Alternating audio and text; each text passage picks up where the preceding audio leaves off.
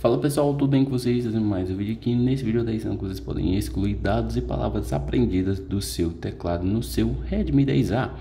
Como vocês podem estar fazendo esse processo, eu vou mostrar para vocês aqui nesse vídeo. Então vamos lá pessoal.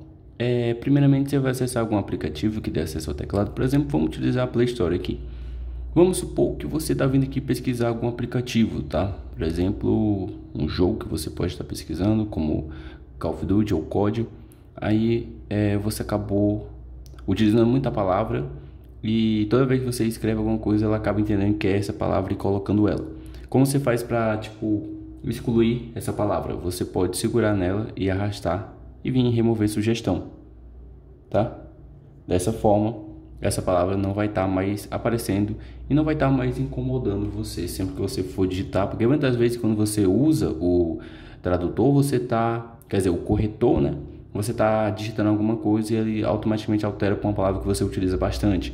E isso pode ser um pouco chato muitas vezes, então você pode fazer esse processo, tá? Então é isso, eu vou deixar esse vídeo por aqui. Não esqueça de deixar aquele like para estar tá dando repente do, do canal, para a gente continuar trazendo vídeos assim para vocês. Até o próximo vídeo, pessoal. Valeu e fui.